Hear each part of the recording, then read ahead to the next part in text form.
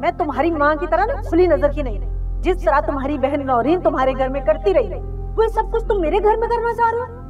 अब आप बात को बढ़ा रहे तो तुम बात को खत्म कर दो।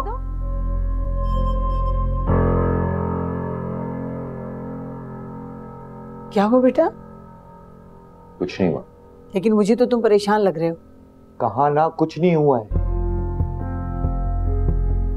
मैं एक दोस्त की तरफ़ जा रहा हूँ मैं आपसे बाद में बात करूँ नहीं कहाँ से लड़ मुड़ कर आ जाता है?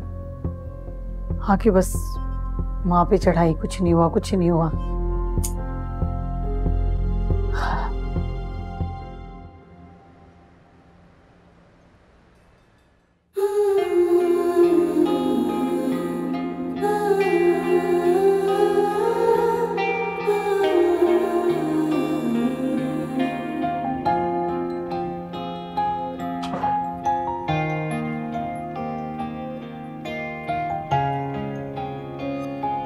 कहीं जा रही हैं? आप नहीं कहीं भी नहीं। तैयार हो रही हैं इसलिए पूछ रहा हूँ। ये तैयारी तो आपके लिए। मेरे लिए?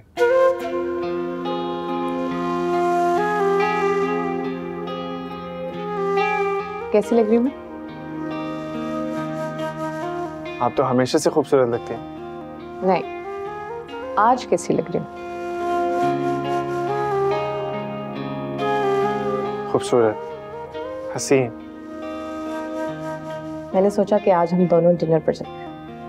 हम्म, ठीक है चलते हैं। आपके कपड़े रेडी वॉशरूम में हैंगे चेंज कर दें ठीक है।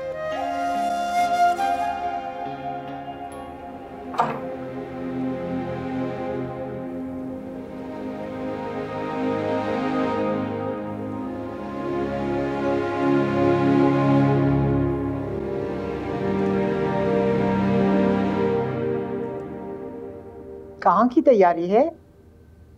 मैं और कमाल बाहर जा रहे हैं डिनर के लिए। डिनर के बहाने कमाल को काबू करने का अच्छा तरीका है। ये औरतों के पुराने खेल हैं। क्यों आंटी? आप भी ससुर जी के साथ ये खेल खेला करती थी। जबान संभाल के बात करो।